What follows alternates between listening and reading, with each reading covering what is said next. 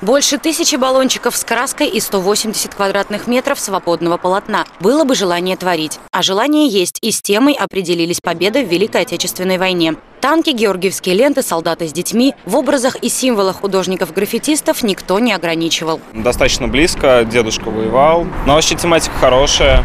70-летие Победы. Да и, в принципе, независимо, мне кажется, от юбилея, стоит помнить об этом. Это очень важное событие для нас всех, и жителей города, и жителей региона на большой площади очень хорошо, что такой достаточно большая площадка, очень много хороших ребят, которые рисуют. Конкурс граффити решили провести в администрации Кировского района Самары. Пригласили 8 команд художников, утвердили эскизы. Длинный забор вдоль Московского шоссе от проспекта Кирова и дальше из серого и неприметного превратится в яркий и запоминающийся своеобразный вернисаж прямо посреди улицы. Эти ребята как раз и показывают своим примером, что э, нужно этим заниматься легализованно и на тех заборах, именно, который разрешение. И рисовать, ну, если можно так сказать, не все, что попало, да, и придет тебе в голову, а действительно художество на радость нашим людям, и которые будут украшать наш любимый район, наш любимый город.